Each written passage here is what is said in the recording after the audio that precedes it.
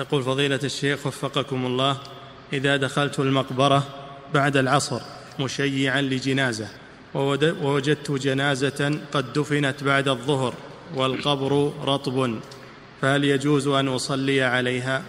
صلي عليها صلي عليها وحصل المقصود لكن ادعو للميت ويكفي تقف على قبره وتدعو له وتستغفر له.